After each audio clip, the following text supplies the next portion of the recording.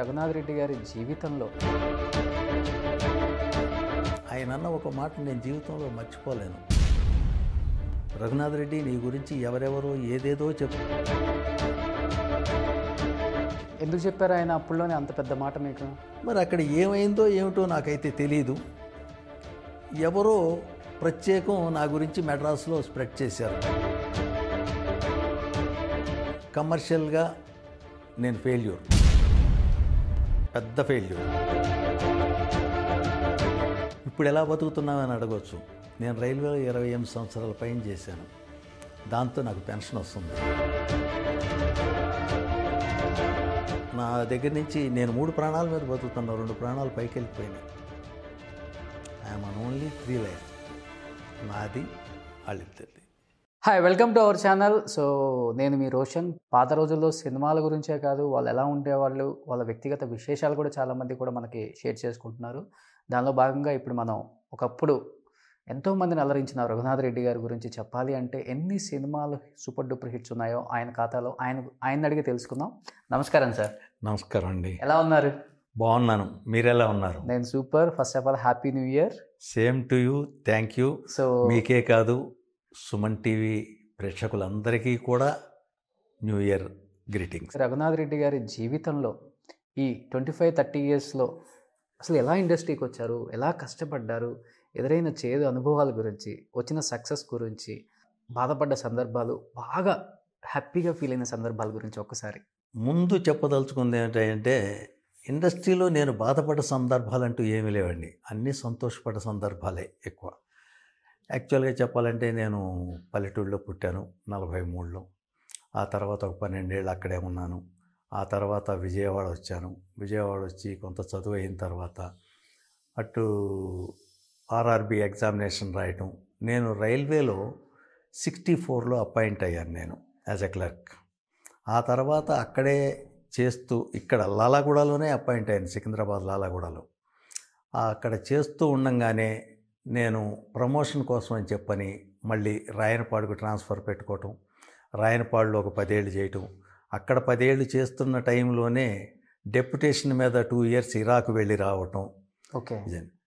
అక్కడ ఉండంగా యాక్చువల్గా నేను లాలాగూడలో పనిచేసిన టైంలోనే మా గురువుగారు శ్రీహరిమూర్తి గారు టి శివరామకృష్ణ గారు వాళ్ళిద్దరూ నన్ను స్టేజ్కి ఇంట్రడ్యూస్ చేశారు. నా మొట్టమొదటి నాటకం బెల్లంకొండ రామదాసు గారిది ఆకాశరామన్న. దాంట్లో హీరో నేను. మీది హీరో కట్అవుట్ అసలుకి? హీరో. ఫస్ట్ హీరో ఇప్పుడే ఇంత అందంగా ఉన్నారు అంటే వైట్ హెయిర్ వచ్చిన అప్పుడు ఎలా ఉండేవాళ్ళో ఒకసారి ఊహించుకోవచ్చు. అయితే ఆ నాటకం చాలా బాగా వచ్చింది. అప్పటి నుంచి నన్ను మా గురువుగారు ఏం చేశారంటే నువ్వు కంటిన్యూస్గా స్టేజ్ మీద చేయాలి అని అన్నారు. మేము కలిపి మొత్తానికి సినిమాల్లో జాయిన్ అయిన తర్వాత కూడా స్టేజ్ మీద వర్కౌట్ చేశాను. నేను చాలా చేశాను. అలా ఒక కొన్ని వందల డ్రామాలు ఆడాం. నా మొట్టమొదటి పరిషత్తు ఇక్కడే హెచ్ఎంటీ కాంపిటీషన్స్లో పునరభిజన్నం అని చెప్పని ఓకే. దాన్ని. అక్కడ నేను బెస్ట్ యాక్టర్ తీసుకున్నాను. ఆ తర్వాత రాయనపాడు వెళ్ళటం అక్కడ చేయటం అక్కడ చేస్తూ ఉండగానే విజయవాడ టీములతో పాటు కలిపి నాటకాలు ఆడటం అది జరిగింది. సినిమాల గురించి నాకు ఎప్పుడు అసలు ఐడియా లేదు. యాక్చువల్గా చేయాలని కూడా పెద్ద ఇంట్రెస్ట్ ఉండేది కాదు.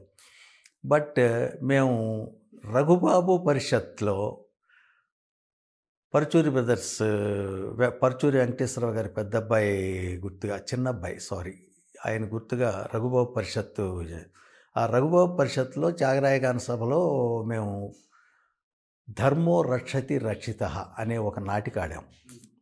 అక్కడ నన్ను పరుచూరి బ్రదర్స్ సినిమాకి సెలెక్ట్ చేశారు. సినిమాకి సెలెక్ట్ చేసి సర్పయాగంలో మొట్టమొదటి క్యారెక్టర్ నాకు ఇచ్చారు. అక్కడ అది యాక్చువల్లీ నైంటీ సిక్స్ కాదు ninety one. Ninety one up and ఆ సర్పయాగం చేసిన టైంలోనే నన్ను ఒక్కడనే కాదు ఆ నాటక పోటీల్లో పాల్గొన్న వాళ్ళల్లో ఒక పది మందిని సెలెక్ట్ చేశారు పర్చూర్ బ్రదర్స్. ఆ పది మందిలో నేను శివపార్వతి ఇలా నందిరాజ్ సుబ్బారావు అని ఫణీంద్ర అని చెప్పని అతను కూడా చేశాడు సర్పయాగంలో. వీళ్ళందరూ చేశారు చౌదరి వీళ్ళు. సరే అక్కడి నుంచి సినిమాలు చేసుకుంటూ వస్తే ఆ సినిమాలో ఎప్పుడైతే చేశానో రామానాయుడు గారి ప్రతిష్టాత్మకమైన సురేష్ ప్రొడక్షన్ సురేష్ ప్రొడక్షన్స్లో నాకు మంచి పేరు వచ్చింది. ఆ మంచి పేరు వచ్చిన దగ్గర నుంచి ఇక నాకు ఫోన్ కాల్స్ రావటం మొదలుపెట్టినాయి. అప్పటి నుంచి కంటిన్యూస్గా చేసుకుంటూ వస్తున్నాను. ఓకే. అద్భుతమైన టర్నింగ్ పాయింట్ ఏంటి అంటే పరచూర్ బ్రదర్స్ రికమెండ్ చేసిందే నారాయణమూర్తి గారి చీమల దండు. ఆ చీమల దండులో నేను మెయిన్ విలన్ చేశాను. ఆ మెయిన్ విలన్ చేసిన తర్వాత నారాయణమూర్తి గారే నా పెర్ఫార్మెన్స్కి దానికి అది అభినందించారు లేకపోతే నన్ను మెచ్చుకున్నారో ఏమన్నా చేశారో నేనంటే బాగా ఇష్టం లైకింగ్ ఆయన ఏం చేశారు?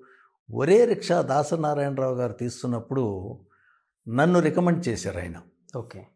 ఆ క్యారెక్టర్ కోసం నేను చాలాసార్లు తిరిగాను దాసనారాయణరావు గారి దగ్గరికి ఇట్లా. అయిన తర్వాత ఆఖరికి నారాయణమూర్తి గారే చెప్పి ఆయనకి నన్ను ఆ మెయిన్ విలన్ క్యారెక్టర్కి నన్ను పక్కా చేయించారు. సెలెక్ట్ చేయించారు.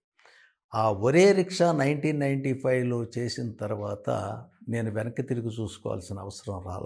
సూపర్. నా ఫోను ఆల్మోస్ట్ ఇరవై నాలుగు గంటలు మోగుతూనే ఉండేది అప్పుడు. ఆ రకంగా నైన్టీ దాసరి నారాయణరావు గారి దగ్గర నుంచి ఆ క్యారెక్టర్ చేసిన తర్వాత ఆయన దగ్గర నుంచి అప్లాజే తీసుకున్నాను తప్ప ఆయన అన్న ఒక మాట నేను జీవితంలో మర్చిపోలేను. రఘునాథ్ రెడ్డి నీ గురించి ఎవరెవరో ఏదేదో చెప్తా ఉంటారు. అయ్యేం నువ్వు పట్టించుకోకు. ఇప్పుడు ఎలా ఉన్నావో అలాగే ఉండు ఏ ఎత్తుకు ఎదిగినా కూడా. అలా మెయింటైన్ చేసుకో నీకు మంచి భవిష్యత్తు ఉంది అని చెప్పి చెప్పారు. నేను అలాగే మెయింటైన్ చేశాను చేసినన్నాళ్ళు. ఎవరితోనూ ఏ ఇబ్బంది లేదు నాతో ఎవరికి ఏ ఇబ్బంది లేదు. ఎందుకు చెప్పారు ఆయన అప్పుడులోనే అంత పెద్ద మాట మీకు? ఎందుకంటే నా గురించి క్యారెక్టర్ ఇచ్చే ముందు వేరే వాళ్ళు ఏదో చెప్పారంట నా గురించి. అంతకుముందు నేను పోకూరి బాబురావు గారు ఎర్రోడ్ చేస్తున్నా రామచంద్రపురంలో చేస్తున్నప్పుడు. మరి అక్కడ ఏమైందో ఏమిటో నాకైతే తెలీదు. ఎవరో ప్రత్యేకం నా గురించి మెడ్రాస్లో స్ప్రెడ్ చేశారు. బ్యాడ్గా బ్యాడ్గా ఆ విషయం ఆయన దగ్గరికి వెళ్ళింది. ఆయన దగ్గరికి వెళ్ళేసరికి ఆయన నీ గురించి ఎవరెవరో ఏదో చెప్తా ఉంటారు నువ్వు దాని గురించి పట్టించుకోకు అని చెప్పని అప్పుడు నాకు ఇచ్చిన అడ్వైస్ అది. ఓకే. పైగా రఘునాథ్ రెడ్డి నీ పెర్ఫార్మెన్స్ చూసిన తర్వాత నీకు సింగిల్ టైటిల్ కార్డు వేయాలనిపిస్తుందని చెప్పని ఎవరే రిక్షాలో నాది సింగిల్ టైటిల్ కార్డు అండి.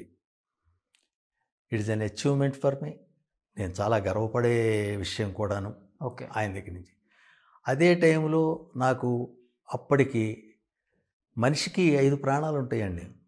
ఐదు ప్రాణాల్లో నా నాలుగు ప్రాణాలు బయటే ఉండేవి ఫస్ట్ పర్చూర్ బ్రదర్స్ నారాయణమూర్తి గారు రామనాయుడు గారు దాసర్ నారాయణరావు గారు దాసర్ నారాయణరావు గారు. ఇప్పుడు నా దగ్గర నుంచి నేను మూడు ప్రాణాల మీద బతుకుతున్నా రెండు ప్రాణాలు పైకి వెళ్ళిపోయినాయి.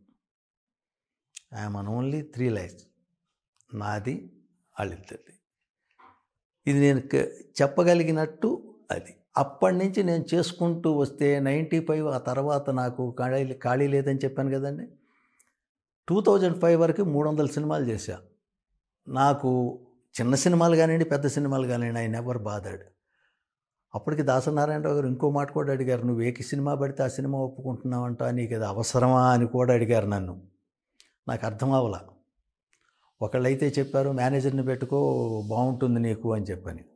మేనేజర్ అంటే ఎవరు ఎలా పెట్టుకోవాలో నాకు మెడ్రాస్ ఇండస్ట్రీ గురించి ఏమీ తెలియదు దాంతో నేను ఎప్పుడు మేనేజర్ జోలికి పోలా నాకున్న ఈ మొత్తం కెరీర్ మేనేజర్ లేకుండానే నడిచింది.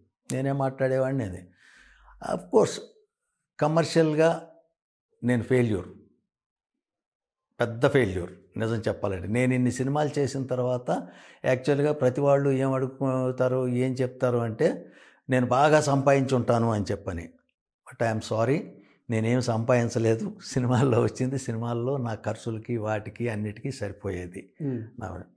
బట్ ఇప్పుడు ఎలా బతుకుతున్నామని అడగవచ్చు నేను రైల్వేలో ఇరవై ఎనిమిది సంవత్సరాల పైన చేశాను. దాంతో నాకు పెన్షన్ వస్తుంది. నేను నా వైఫ్ నా పిల్లలంతా సెటిల్డ్. కాబట్టి ఆ పెన్షన్తో బతుకుతున్నా. అంటే అంత పెద్ద ఆర్టిస్ట్ ఇన్ని సినిమాలు తీశారు. ఒక మేనేజర్ ఉన్నా ఉండకపోయినా కానీ మీకంటూ ఎంత ఇవ్వాలో వాళ్ళకి తెలుసు. ఒక ఐడియా ఉంటుంది. అంటే రఘునాథ్ రెడ్డి గారిని రెమ్యునరేషన్ వైజ్ కొంచెం చిన్న చూపు చూసింది అనుకోవచ్చు ఇండస్ట్రీ బాగా. బాగా చిన్న చూపు చూసింది. అనుమానం అవసరంలా. నేను ఫర్ ఎగ్జాంపుల్ ఎక్కడైనా ఎవరైనా పక్కన వాళ్ళని ఇనిషియేటివ్గాను ఏదో ఆదర్శంగానో తీసుకుని ఈ క్యారెక్టర్కి నాకు ఇంత ఇవ్వండి అన్నాం అనుకోండి నేను అడిగిన దాంట్లో నాలుగో వంతు ఇస్తారు వాళ్ళు ఒక పెద్ద సినిమా చేశానండి. రాఘవేంద్రరావు గారు డైరెక్టర్ సినిమా పేరు? మన శ్రీమతి వెళ్ళొస్తా. మన జగపతి బాబు గారు హీరో. ఆయన ఫాదర్ నేను. ఇద్దరు హీరోయిన్లు. దాంట్లో ప్రొడ్యూసర్ గారి దగ్గర మాట్లాడిన తర్వాత నేను ఒక అమౌంట్ అడిగాను ఆయన్ని. అడిగితే చిన్న సినిమా అండి ఇంత తీసుకోండి అన్నారు. చేయండి అన్న ఇండస్ట్రీలో నాకున్న అదే ఒక గుడ్ విల్. అలాగే ఎవరైనా టెక్నీషియన్ కూడా అన్నా నేను సినిమా చేసుకుంటున్నాను నాకు ఒక చే- ఓ రోజు రెండు రోజులు కాస్త చేసి పెట్టన్నా అంటే ఫ్రీగా చేసుకోమనేవాడిని. ఎందుకంటే వాళ్ళంటే నాకు అభిమానం.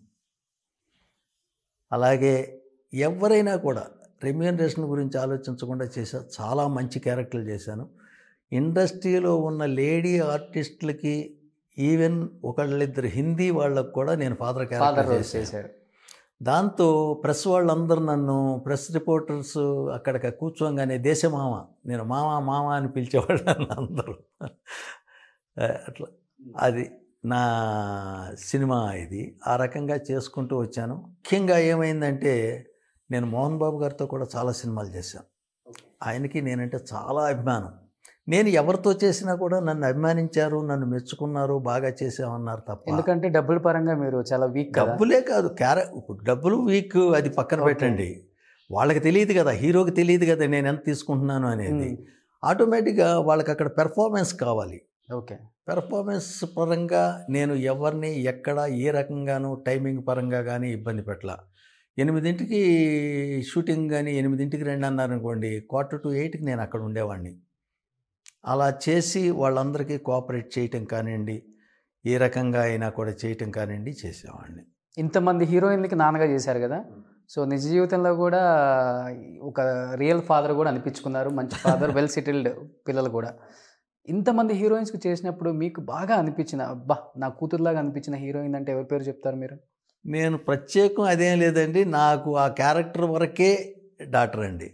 ఆ తర్వాత నేను ప్రత్యేకం అఫెక్షన్ పెంచుకున్నట్టు కానీ లేకపోతే వీళ్ళు లేకపోతే ఈ అమ్మాయి బాగుంది ఈ అమ్మాయి చక్కగా ఉంది నా డాక్టర్ అనిపించింది నాకు ఎప్పుడు ఆ రకమైన ఇది రాలా. ఆ క్యారెక్టర్ పరంగా చూస్తే ఓకే చేయటం అంతవరకు వచ్చేయటం.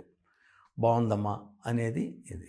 ఆల్మోస్ట్ ఎంతమంది హీరోయిన్స్కి చేశారు ఫాదర్గా నేను చేసి ఉంటానండి నాలుగు వందల సినిమాల్లో దాదాపు ఒక ఇరవై ఐదు ముప్పై మందికి చేసి ఉంటాను తేలిగ్గా. హిందీ మౌసమి చటర్జీకి కూడా నేను హిందీ పిక్చర్లో ఫాదర్ చేశాను. పూజా బాత్రా ఇలా వీళ్ళకి. ఇవన్నీ ఇక అది మామూలు it's all in the game చేసుకుంటూ అప్పుడు వైట్ హెయిర్ లేదు కదా? బ్లాక్ హెయిర్ లేదండి. బ్లాక్ హెయిర్ డై చేసేవాడిని. కానీ తర్వాత ఈ హెల్త్ ప్రాబ్లము ఇది వచ్చిన తర్వాత ఎప్పుడైతే సినిమాలు తగ్గినాయో నా పనులన్నీ తగ్గించుకోవాలి టైంగా కొంచెం చూసుకోవాలనే ఉద్దేశంతో నేను డై చేయటం కూడా మానేశాను. కానీ ఈ రియల్ హెయిర్తో కూడా మంచి క్యారెక్టర్స్ చేయొచ్చు. మధ్యలో కొంతమంది ఆర్టిస్టులు ట్రై చేశారు కదా ఇది కూడా. అవును. కూర్చుని అయితే చేయొచ్చండి. నడవలేను పెద్దగా. నడక లింప్ వస్తుంది. దాంతో నేను ఎవరైనా అడిగినా కూడా బాబు నేను నడవలేను. కూర్చుని అయితే చేస్తా. అలా చేసిన సినిమా ఏంటంటే నడిచి కూడా చేశాను సుబ్రహ్మణ్యపురం లేటెస్ట్గా. ఒక వన్ అండ్ హాఫ్ ఇయర్ అయి ఉంటుంది మహా అయితే వన్ ఇయర్. దాంట్లో మెయిన్ పూజారి క్యారెక్టర్ చేశాను. గుడి బాగుంటుంది ఆ వనపర్తి దగ్గర.